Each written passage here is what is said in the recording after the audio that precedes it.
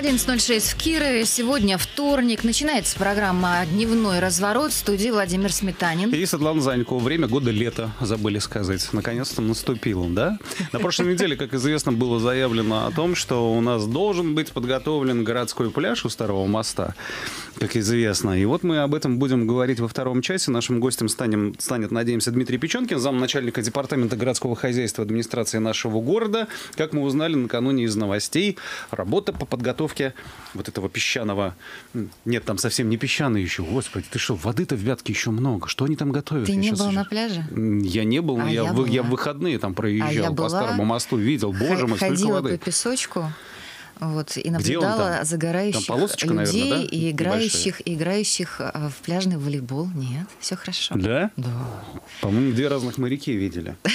Вот и выясним. То, что я видел, по-моему, там еще далеко напоминает. Ты знаешь, теперь не очень понятно, что с городским пляжем, что с пляжем Титаник. Это тоже, может быть, теперь уже городской. Мы не очень понимаем, что происходит.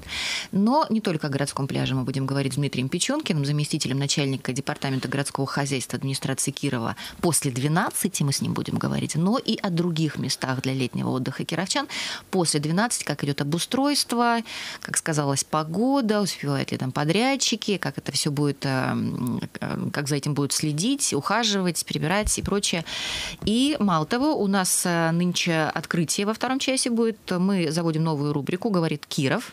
Я не знаю, что ты туда вот поместил. Ну, я могу сейчас анонсировать. Да, Давай. внимание, последняя 10 минутка дневного разворота будет посвящена как раз-таки новостям самой актуальной жизни городской. Мы будем затрагивать сферу как раз-таки благоустройства, культуры, спорта, медицины и так далее, так далее. Чиновники городские будут Да, с совместно связи, с городской да? администрацией. Сегодня мы собираемся поговорить об очень интересном проекте под названием «Детям можно все». Ой со знаком вопроса и со знаком восклицания. В рамках этого проекта был осуществлен, насколько я уже знаю, отбор самых талантливых детишек в нашем городе, и они все вместе будут готовить или уже готовят мюзикл, который будет представлен публике в конце лета этого года. Ты все уже и рассказал.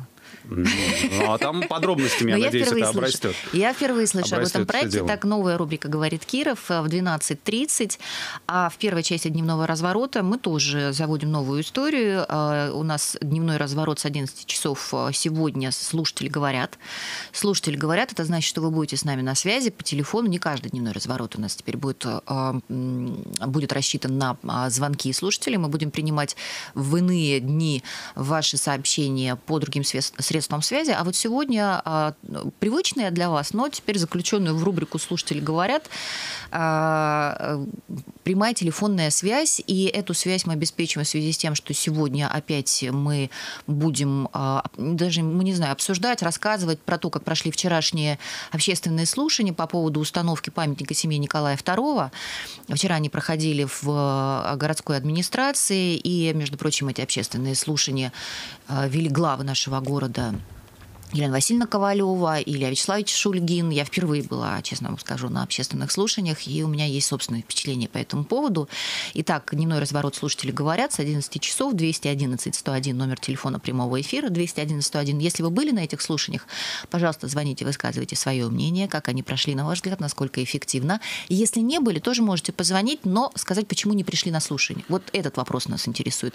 Мы теперь не обсуждаем, там, да, ставить, угу. не ставить памятник, где его поставить, а почему почему вы пришли или почему вы не пришли на общественные слушания вчера в городской э, мэрии, в мэрии города а, в 16.00 в кабинете 299 изначально планировалось провести эти общественные слушания, а, а, малый зал на городской думы, но все не вместились, Володя. Все Сколько, по твоим оценкам, кстати, было Вчера, пришедших. да не по оценкам, и сразу было сказано, сразу было сказано Елена Васильевна, когда она открывала слушание, она, поскольку все учитываются, записываются люди, которые приходят на городские а, слушания. То есть входишь и прям, прям ставишь да. автограф где Да, да, да, всех записывали. По-моему, 154 человека было названо, ну, больше 150, угу. да. У меня почему-то цифра 154 а, запечатлелась а, в голове. А, и все не уместились в малый зал городской думы и перешли в большой. Перешли в большой, и это были люди, которые пришли вот конкретно на слушание. Кроме этого, конечно же, огромное количество было камер, то есть мне кажется, что все телевизионные каналы города Кирова съехались на эти общественные слушания. Очень много было журналистов, наших коллег с интернет-порталов, из печатных изданий а, радищики а, были там. Ну вот э, я бы сказала, что, э, конечно, сразу было понятно, что вопрос животрепещущий интересует абсолютно всех. А интересно, журналисты, они учитывались в общей массе пришедших? Отдельно, вот, вот те 154... Отдельно. А, отдельно? отдельно. Вот это немаловажный СМИ факт, отдельно. по-моему. Да, 154 приходят это... и освещают да, это мероприятие. Не по работе пришли, а по зову, так сказать, сердца. И, и, и СМИ, если уж так говорить, то я единственная там держала слово, и, и то, наверное, как все-таки представитель общественной палаты э, города Кирова, mm-hmm. Кировской области, а не как представитель СМИ. Хотя без упоминания нашей радиостанции неоднократного на этих слушаниях не обошлось, и это понятно. Как-то так всплывает, само собой. И это угу. понятно, Володя, потому что, конечно, мы эту тему практически каждый день обсуждали с нашими экспертами и с горожанами. Это ясно. Кстати, когда мы анонсировали в нашем эфире эти общественные слушания, у нас был опрос. Как вы думаете, общественные слушания по данному вопросу нужно надо проводить, обязательно пойду на них. Надо, но не пойду из-за того, что нет времени, желания или какие-то там еще ситуации жизненные, либо вообще не надо. Вот я сейчас актуализировал этот опрос, там 100 человек почти, почти проголосовало. Самый популярный вариант ответа знаешь какой? Надо, но не пойду.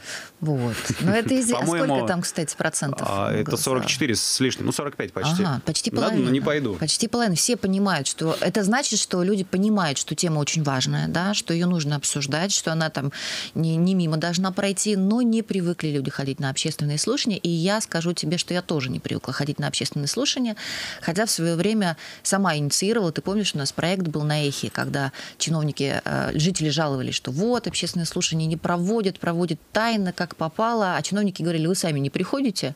И помнишь, мы тогда на Эхе сделали, э, сделали рубрику такую, угу. да, и буквально полгода э, конкретно били в, в точки и, и обо всех общественных слушаниях давайте, рассказывали давайте, в эфире и тогда, да. да, волна поднялась. У нас есть телефонный звонок от слушателя.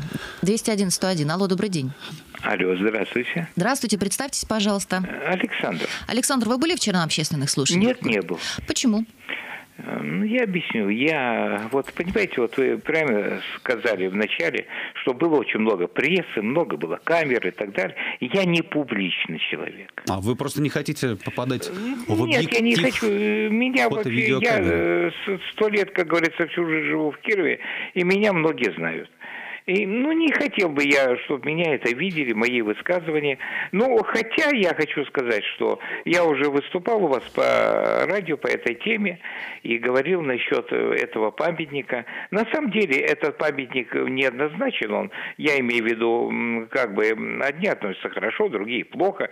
Но дело в том, что он сам по себе красивый он красивый. Я посмотрел, он красивый, и он мне напомнил, как вот эти все такие вот такого плана памятники, они ставятся перед церковью, пока как вот перед соборами в Свердловске, в Екатеринбурге, или там, значит, они ставятся в Москве.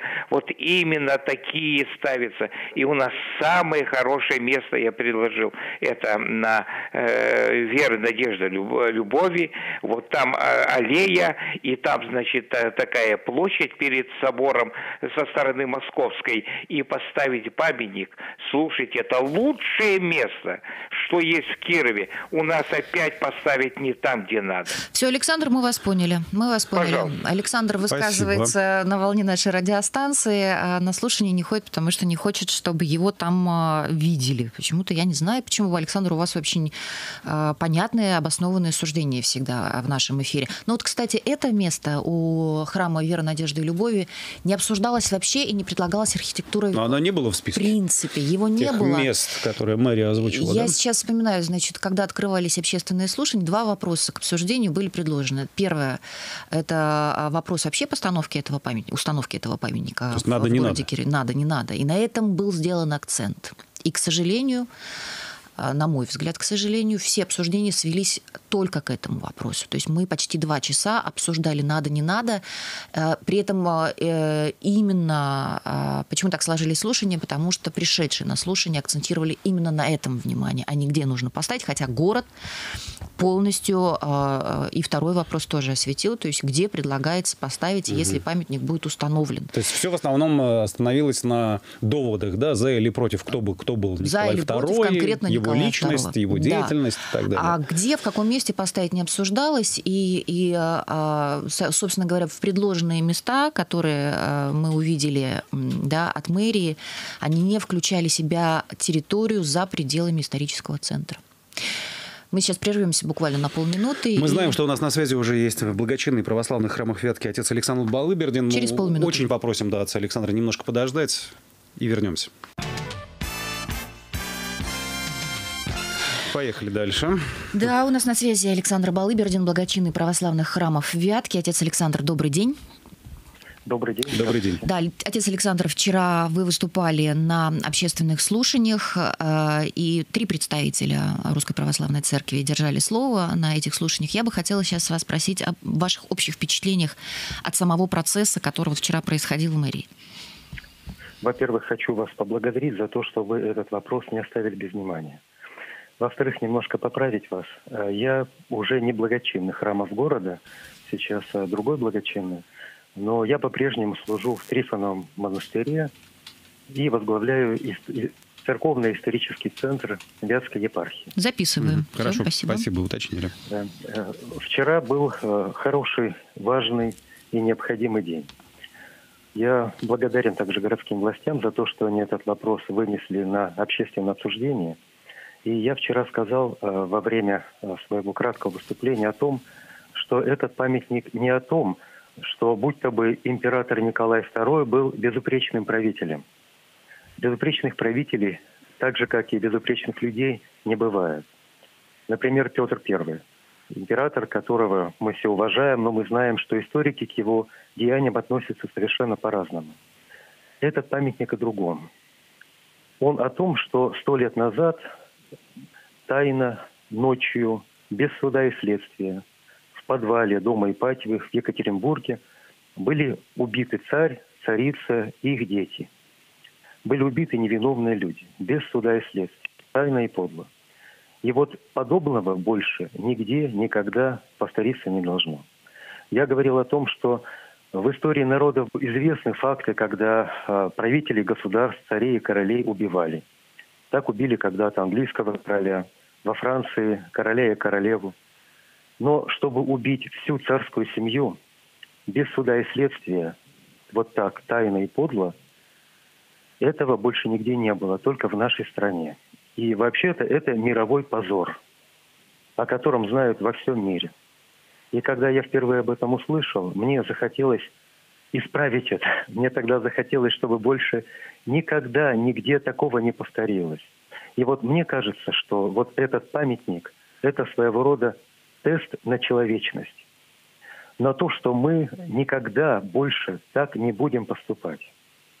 И я все-таки надеюсь, что несмотря на, на разные мнения, которые были вчера высказаны, а мнения действительно будут быть разными, мы поступим по совести.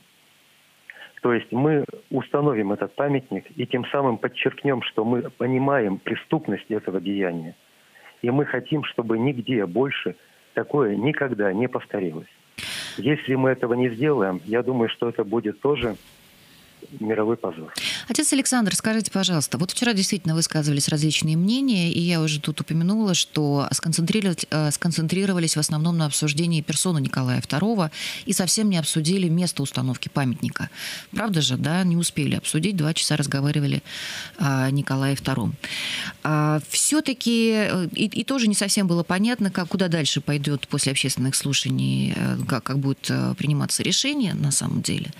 Ваше, ваши собственные впечатления впечатление, кое-кто там высказывался все-таки в ходе, в ходе прений, где бы лучше поставить. Вот у нас даже первый слушатель, который сегодня позвонил, предложил поставить у церкви э, Вера, надежда, Вера, надежда любови, любови матери, матери Софии. Да. Софии. И большинство из тех, кто э, критиковал даже саму фигуру Николая II, тоже не говорили, что памятник не должен быть установлен, но склонялись ко мнению, что он должен быть установлен где-то рядом с храмом. Вы знаете, это справедливое мнение, потому что э, это святые, канонизированные, прославленные Русской Православной Церковью вместе с новомучениками и исповедниками российскими. И вообще установка таких памятников, она объединяет людей. Как когда-то она позво... как когда-то канонизация э, царя Николая II и царской семьи позволила объединиться Русской Православной Церкви и зарубежной церкви. На мой взгляд, э, место, предложенное Вятской епархии, является исторически оправданным. Это место рядом с Федоровским храмом, который в народе называли Романовским, потому что Федоровская икона Божьей Матери является покровительницей дома Романовых. Это набережные реки Вятки, место, где гуляют молодые родители с детьми. Пусть они проходят и показывают детишкам вот эту удивительную царскую семью – людей, которые были верны Богу и друг другу до последней минуты. Спасибо. Спасибо. Спасибо. Отец Александр, э, Александр Балыбер, один церковный, э, возглавляет, э, возглавляет церковно-исторический центр Вятской епархии. Значит, 211-101 у нас э, слуш... дневной разворот слушатели говорят, поэтому прямая связь по телефону.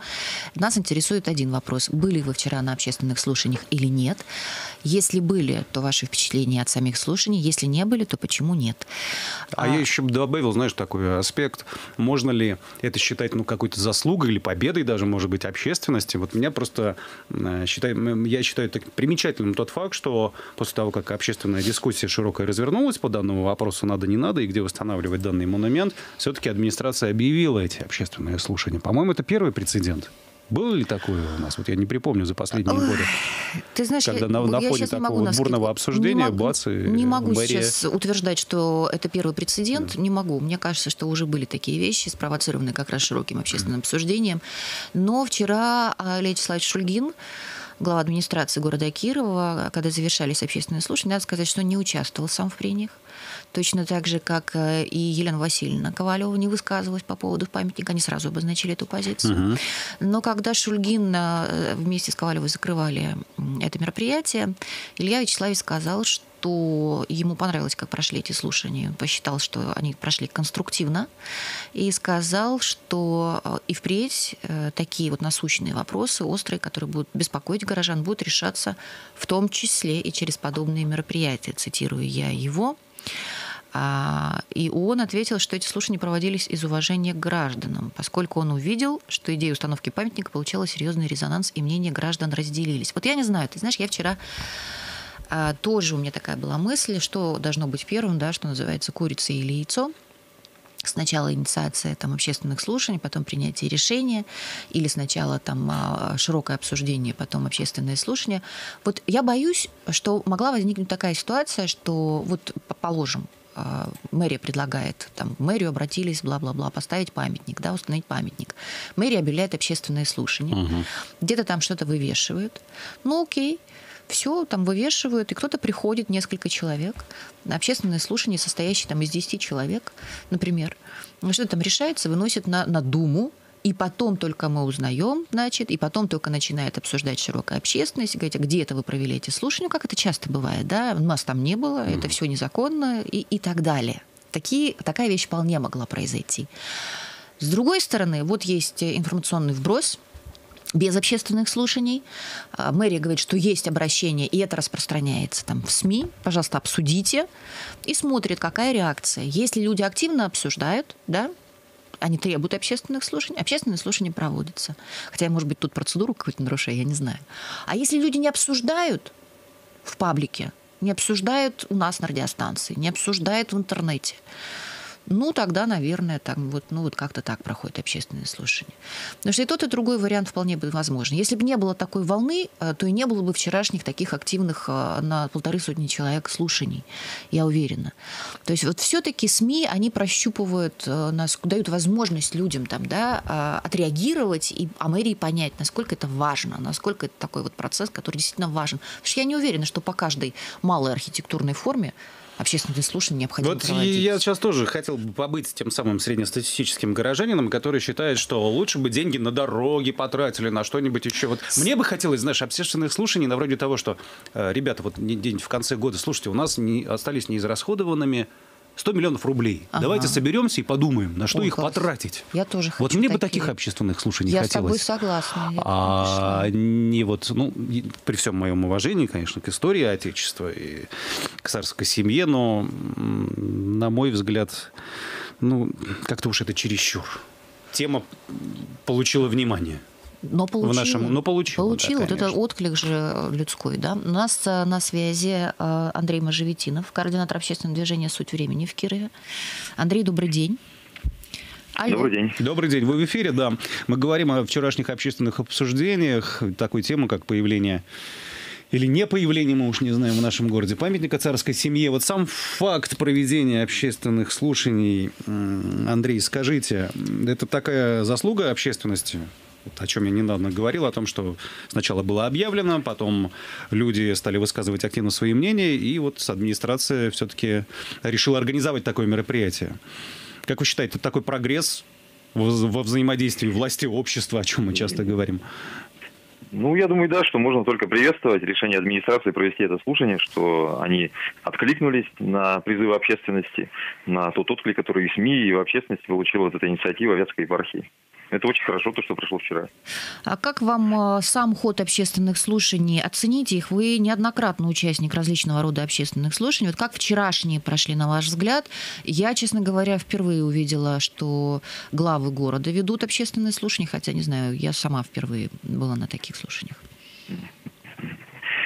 Прошло, на мой взгляд, вчера очень хорошо, достойно. А, там это не превратилось в базар усилиями и модераторов в лице мэра, ну и усилиями всех участников этих слушаний. Все э, выходили и аргументированно излагали свою точку зрения, а те, кто оппонировал э, выступавшему, они как-то постарались себя удержать от каких-то выкриков, каких-то замечаний по ходу выступления. То есть все э, собрались и выслушали э, свою точку зрения своих оппонентов. За это всем большое спасибо. Ну и теперь уже есть возможность вам все-таки сказать только без длинных преамбул, потому что о Николае II мы много говорили здесь уже в этом эфире, да? да? А на ваш взгляд, э, должен ли быть установлен, может ли быть так, может ли быть установлен памятник семье Николаю II, и если да, то где? Ну, мы считаем, и свою точку зрения неоднократно излагали, что, в принципе, так как Николай II является исторической фигурой, правителем нашего государства и канонизирован официально как святой, то, в принципе, ему можно поставить памятник. Но вот то, что касается конкретного памятника и э, конкретной трактовки образа Николая II, которая предполагает этот памятник, мы считаем, что э, такой памятник не нужен в нашем городе, потому что за попытками установить вот этот памятник разглядывается так называемое царевожие, то есть предложение, призывы к всенародному покаянию перед царем Николаем II. Хотя епархия говорит, что это якобы памятник э, семейным ценностям и служит для сбережения истории, но если приглядеться внимательнее к фактам, то видно, что э, это именно как бы вот это царебожие проглядывает там, потому что э, в церковной среде тоже есть неоднозначное как бы отношение к фигуре Николая II. Потому что вот в РПЦЗ, то есть церкви за рубежом, там считают его мучеником, и оттуда растет вот это призывы к покаянию. А наша церковь РПЦ, она отнеслась к канонизации Николая более разумно извешенно и признали его только страстотерпцем. Потому что мученик это человек, который пострадал или там был убит э, за отстаивание христианской веры, а страстотерпец это человек, который пострадал э, просто там от действий злых сил. И вот это очень важное отличие, которое необходимо понимать. Да. Потому что вот это царебожие и признание царя мучеником, оно, в принципе, осуждено официальной церковью. И патриарх э, Кирилл неоднократно об этом говорил. Да, Андрей, э, то есть э, вы бы предпочли, чтобы семья Николая II, если уж она будет воплощена в какой-то архитектурной форме в городе Кирове, была изображена в светской какой-то манере, да? Ну, я считаю, что если а, предполагать установку в каком-то публичном месте, в светском, на набережной или в парке, то, конечно, образ а, Николая II должен трактоваться однозначно как а, светского правителя. Потому что отношение к нему как к святому, я повторяю, даже в православной среде неоднозначное. А если кто-то хочет его именно вот так трактовать, то я думаю, это нужно где-то на церковной территории Все, поставить спасибо. Если, а конечно, мне... верующие этого захотят. А у меня еще такой вопрос родился, Андрей, а если бы РПЦ немножко сменила риторику и немножко сменила обоснование, вот так не напирала на то, что это семейные ценности, потому что в любом случае нельзя абстрагироваться от деятельности непосредственно, да, как император Александра, там много событий. Вот если бы ина- иначе немножко, вот, на ваш взгляд, можно было бы подкорректировать церковникам вот это все дело, и тогда вы, может быть, более лояльно к этой идее относились? Или, вот, или вообще, в принципе, это невозможно? Том, что да. Вот точка, э, точка зрения на фигуру Николая II, вот, вот, вот именно в этом памятнике, а, если обратиться к первоисточнику, и у нас хотят поставить копию, если посмотреть на оригинал памятника, то там четко сказано инициаторами и спонсорами установки о том, что это памятник покаянию для покаяния всенародного перед царем Николаем II. И вот такое предложение, я сомневаюсь, что встретило бы какую-то поддержку у жителей Кирова. Призыв да. к всенародному да. покаянию перед царем Николаем II. У нас еще 10 секунд буквально. И вот все-таки, как вы думаете, нужно ли организовывать общественные слушания по установкам, а, по установке малых архитектурных а, форм в городе Кирове? Или только вот на резонансные такие вещи нужно реагировать? Я думаю, что это не помешает, но тем более, если такой отклик вызывает, то это обязательно нужно, даже без напоминания общественности. То есть э, администрация, чиновники, они должны держать руку на пульсе и чутко, э, получается, чувствовать вот эти все настроения общества. В этом, в принципе, и стоит их э, профессиональная деятельность. Спасибо, Андрей Можжеветинов, координатор общественного движения «Сатиревение» в Кирове. У нас дневной разворот слушатели говорят. 211-101. Принимаем ваши звонки сразу после короткой рекламы. Разворот, слушатели говорят. Э, вчера в Кирове прошли общественные слушания по вопросу установки памятника Николаю II и его семье. Прошли в городской мэрии, в кабинете 299, в Большом зале городской думы. Ты второй раз повторяешь номер да. кабинета, ты акцентируешь на это внимание. Ты знаешь, специально. Наверное, я, я, это, я это делаю для того, чтобы люди понимали, что эти вещи доступны, и можно приходить и действительно mm-hmm. дискутировать и высказывать свое мнение напрямую. Там была, а, была одна претензия предъявлена самого начала, потому что вот когда называлось, что было 24 а, обращения, да, 24 ведь у нас в новостях. 24 это через интернет и лично письменно да, можно было в администрацию да. После того, по как обсуд... этого, да. объявила администрация, что будет общественное слушание, можно было подать там, да, свое какое-то заявление по этому поводу, высказать мнение. И не было сказано, какие общественные организации заявились с этим, и поэтому общественные организации, которые себя не услышали, предъявили претензию, что вот где мы, мы вам писали, вы должны озвучить. Общественные организации действительно были, как минимум три я услышала, которые подавали такие да, а, заявления, в основном против установки памятника. А, да, и я, кстати говоря, для меня неожиданностью было, что вчера пришло такое количество людей, которые были против. Я почему-то думала, когда шла туда, что будет большое количество людей, которые за. Но в целом, по твоим ощущениям, э, голоса за или против? Ну вот 50 на 50. 50 на Просто 50 по-разному было, да? они подавались. Угу. Те, кто был против, были активнее значительно, чем те, кто был за. Угу. И я не видела почему-то людей светских, которые были за. Ну, там, я не знаю, не обязательно же вот быть верующим, например, да, и относиться действительно как там э, страстотерпцу, например, или не знаю. Может быть, не так, может быть, я не права. Но почему-то не было просто горожан. В основном были представители РПЦ, которые говорили, обосновывали, почему этот памятник а, они хотят установить, почему он важен, почему он объединяет, а не разъединяет, а вот просто горожан, которые высказывались бы за-за-за, буквально, может быть, один или два человека были. Зато те, кто был против, прямо были очень хорошо подготовленные, содержательные были выступления с обоснованиями, как считали выступающие они были. И вот как раз э, это обоснование они все время приводили, пеняя городу на том, что у них необоснованные предложения по поводу места установки этого памятника. У нас... А их семь. Чуть позже мы напомним. Да, Николай нас, Пихтин. Да, Николай Пихтин, общественник у нас на связи. На связи. Тоже вчера был. Да, Николай Анатольевич, приветствуем вас. Добрый день. Вы были вчера на общественных слушаниях. Вот скажите, пожалуйста, да, был. да, как вы себе представляли, как они будут проходить, да? Возможно, какие-то установки у вас были. И то, что увидели и услышали по факту, не разочаровались? Ну, во-первых, честно говоря, я ожидал, что будет, как обычно, проходили, когда кого-то там, какие-то люди приходят, вот как прозвучало вчера, массовку создают, и человек там 5-7 активных, а остальные пассивные. Но прошло на удивление очень хорошо. если я правильно запомнил, 152 человека было. Это ну, впечатляет. В целом дискуссия вам приглянулась? Дискуссия приглянулась, да. Хотя есть вопросы, конечно, у меня э, появились и немало. Например, вот э, по мне, э, я считаю, что это не памятник э, будет установлен. Это скульптурная композиция, это разные вещи. А в чем разница? Ну, памятник, это он ставится историческому какому-то событию или личности, и для этого он должен проходить довольно сложную процедуру. Это наш Минкульт э, областной, это хозяйство утверждал и так далее. А скульптурная композиция это несколько проще. И она не носит какой-то, не знаю, сакральной, возможно, да, важной да. роли, не да, призывает да, да, идти и, и поклоняться этому всему. Так, ну, смысл понятен. Да, да. Николай, хотела вас спросить по поводу да. организации самих вот общественных слушаний. Мы вот тут с Володей задались вопросом, надо, надо ли было их по поводу установки этой скульптурной композиции организовывать сразу, или правильно поступили власти, сделав такой информационный вброс, посмотрев, какая реакция будет э, у населения, и дальше уже организовав э, общественные слушания. Я, правда, не уверена, что это была такая стратегия, но, тем не менее, так вот э, фактически Нет, мне кажется, события. на какие-то горячие вопросы администрация должна просчитывать, предполагать, что будет какая-то реакция, и такие слушания проводить и организовывать. Это нормальная процедура, и к этому надо стремиться, и к этому надо идти. А вот э, все буквально, кто сегодня был с нами на связи, кто был вчера на общественных слушаниях, отметили э, конструктивную содержательную беседу, и что не было пререканий, криков, да, каких-то взаимных обвинений. Нет, это, это, это да, это, Чья да, это заслуга? верно. Единственное, что вот э, меня немножко как бы удиви, не удивило, а так, ну, и, честно говоря, я и ожидал такое.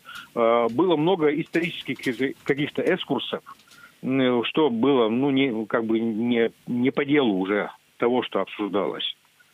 Это как вам показалось? Ну, люди эмоции выс- свои э, высказывали. Чья это заслуга, что вчера так вот прошли слушания, вы говорите э, мирно, конструктивно? И...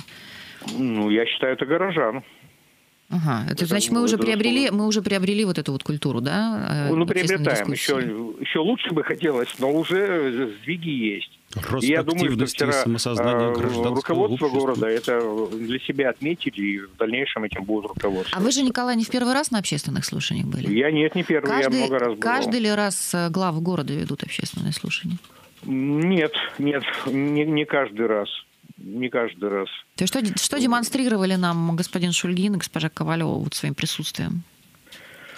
Ну, во-первых, они руководители города, и они в первую очередь должны услышать мнение горожан, что вчера и произошло. Не косвенно, когда кто-то им докладывает, что было, а воочию. И они вчера довольно правильно поступили, что сами они оценок никаких не давали. Mm-hmm. То есть они не навязывали свое мнение э, горожанам. Э, это очень правильно. Ну, итог, Николай, ведь вчера не обсудили место, а только обсуждали да, персону. место, к сожалению, не обсудили, да. Так получилось. Но это, я думаю, это издержки роста, так скажем. На будущее уже модераторы будут это учитывать и более строго темы придерживаться. Николай Анатольевич, ваш прогноз, чем дело-то кончится? Появится, у, меня, появится у меня прогноз такой, что все же э, это скульптурное э, произведение установят и, скорее всего, в Трифоновом монастыре. Спасибо. Николай Спасибо. Пихтин, общественный деятель, был с нами на связи. Слушай, а я еще хочу спросить по процедуре эти общественные слушания. Там изначально модераторы, ну, глава, глава администрации заявили, что столько будет оно проходить слушания, так-то, так-то. Это было заявлено. Я не помню общее время, было, бы, Нет, было ли заявлено. Смотри, ну, на мой взгляд... Время да, докладов было заявлено. Да, ну смотри, два часа, да, ты сказала, проходило. Ну, два часа – это четверть рабочего времени, четверть рабочего дня. Достаточно много. Ну, полтора и на плюс мой, там, На мой взгляд, в начале общественных обсуждений таких надо сразу говорить. Так, ребят, вас 150 там с лишним человек, у нас с вами два часа, час мы для начала посвящаем на то, чтобы все желающие могли высказаться. У каждого конкретный тайминг, там не более трех, не знаю, может, четырех, четырех минут. Потом, не знаю, какие-то прения сторон. Потом голосование, руки поднимать за или против. Это не окончательное решение. Вот, а, а вот как-то а вот, вот регламентировано да, более, на мой взгляд, Я с тобой согласна, быть. поэтому я и спрашиваю. Да. Володь, я сама была впервые на общественных да. слушаниях. И по процедуре тут не я могла бы тебе пояснять. Иногда а, строго процедуры придерживаться, может быть, и не стоит. Но вчера было заявлено, что по 10 минут а, докладчики от сайт мэрии выступает. Угу. Тут как раз э, первый докладчик говорил об обращении с просьбой установить памятник, разрешить установить памятник, а второй доклад держала Ирина Васильевна Рубцова. Она обосновывала места, которые мэрия предлагает для установки этого памятника. А дальше по пять минут выступающие могли э, там высказывать свои мнения. И их было достаточно много. Может быть, в этом случае, который вот сейчас вот э, касается этого памятника, и следовало выслушать всех для того, чтобы выпустить этот пар окончательно. Да? Ирина Васильевна, простите, тут э, какую роль играет? Место установки памятника. А, Архитектура а, планирует. Руководитель управления Они... градостроительства Конечно, и архитектуры. Если, если ты заходил mm. на сайт мэрии, э, когда предложены были вот эти места, семь мест, о которых ты говоришь, они даже картинки нарисовали, как это будет вписываться в, в окружающую среду. Это очень важно. Кстати, такой вопрос тоже поднимался а, по поводу того, как это будет смотреться. Я как раз не согласна с тем, что я лично, я об этом сказала, не согласна с тем, что на набережной Грина э, уместно ставить такой памятник, потому что лично у меня он не светлые, а, а очень грустные мысли вызывает. Э, и я бы не хотела э, там гуляя по набережной, я уже вчера об этом говорила, город у нас грустный, серый, в силу климатических особенностей и разных других. Немного таких мест, где люди приходят именно отдыхать и как-то, знаешь, от, от, от тяжелой действительности от, отвлечься, а тут э, такое место скорби возникает. И я прям даже вчера сказала, что есть ЗАГС, есть кладбище. А туда приезжают справлять свадьбы, гулять с детьми, там, понимаешь, вот это вот все. И лично я была бы против там, установки памятника именно в этом месте, на набережной, где угодно, в парке тоже кажется мне не очень хорошо. Вот, но я об этом Мне просто... хочется поспорить, но это что-то аргументов не нахожу. Вот, понимаешь? Почему он должен правда. там появиться? Ну, правда. Ну, ты вспомни, что сказал э, Александр Балыбердин. Он рассказывал вчера очень в красках, на самом деле, как штыками добивали, прибивали, там буквально штык вонзался, проходя через тела детей э, Николая II в деревянный пол. И вот когда ты идешь и гуляешь с ребенком, там, знаешь, с гамбургером в руках, и, и видишь, и что ты должен ему в этот момент рассказать, да, как, вот, как как штык, штык пронзал ну, тело этого маленького счастье, мальчика. Счастье, наверное, не в незнании и в неведении Вот, поэтому у меня здесь диссонанс да. по этому поводу, да. А, да, действительно, я с тобой согласна, что в итоге мы не обсудили места, где могли бы установить, и не проголосовали. Наверное, к этому нужно будет прийти, но об этом Шулькин как раз и говорил вчера собственно, на мое замечание, он и сказал, что мы все учимся, и учимся, и гражданское общество учится, и мэрия учится, как это все делать. И ему тоже вчера поэтому понравился первый опыт, и сказал, что это надо все развивать. И вот мне кажется, что действительно общественные слушания вчера показывают, что гражданское общество в Кирове, а здесь там были гражданские позиции обозначены вчера, не просто, знаешь, там городские. У нас же много было тут с тобой эфиров, правда же, там и не только с тобой, и не только моих, где все высказывают. Вчера, кстати, архитекторов не было совершенно. Mm. То есть сама ценность там вот этой композиции никак не обсуждалась вообще. Не было строителей. Но мы лишь одну только позицию в нашем да, эфире да, слышали, вот, да, вот о том, что это копия. Очень много было а политики, а очень не, много не было истории, уже, да. Э, отношения церковь и там, да, и не церковь, и, угу. и так далее. Вот об этом все время говорили. Но, слава богу, не на повышенных тонах. Это угу. правда. То есть, ну, сначала попытались так разбежаться, но Елена Васильевна очень грамотно как-то так и, и очень спокойно на это все отреагировала. Угу. И э, на наших глав, э, на наших глав пришедшие тоже реагировали и сразу понимали, что ну, не стоит, пожалуй. Угу. Не стоит, пожалуй. Да? И вот мне это тоже понравилось. В общем, итог сделаю следующий. Как некогда Герцен разбудил декабристов – так епархия разбудила гражданскую общественность города Кирова своей инициативой уста... установки, Епархия, кстати, выглядела монумента достойно в этой дискуссии. Да. Ничего не могу сказать. Да. Епархия тоже выглядела достойно. Так, дневной разворот, э, слушатели говорят, завершен. Правильно я понимаю? Да, да ведь, Володя? Да. В следующем часе мы не принимаем звонки от слушателей. К нам придет Дмитрий Печенкин, заместитель начальника департамента городского хозяйства администрации. Будем говорить об устройстве э, мест летнего отдыха кировчан.